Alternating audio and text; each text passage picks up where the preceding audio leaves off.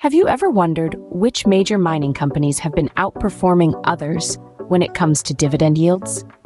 Well, today we're going to take a deep dive into the dividend performance of 10 big players in the mining industry over the past decade. Buckle up.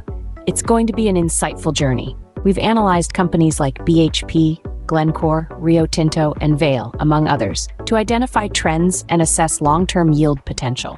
We've looked at each company's average annual dividend yield, their consistency, and variance. When it comes to dividends, it's not just about the numbers, it's also about the consistency.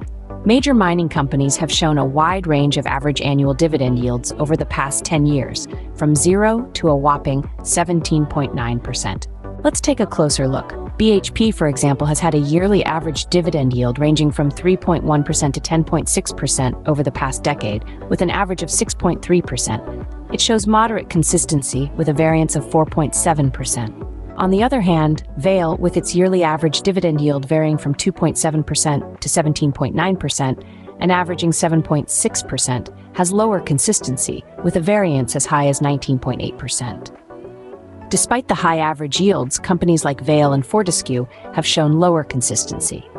It's important to remember that high yields are attractive, but consistency is key for long-term investment strategies. It's clear that each major mining company offers unique opportunities for investors, with different levels of exposure to dividend yields and consistency. While dividends should not be the only factor considered when making investment decisions, they are undoubtedly a significant piece of the puzzle.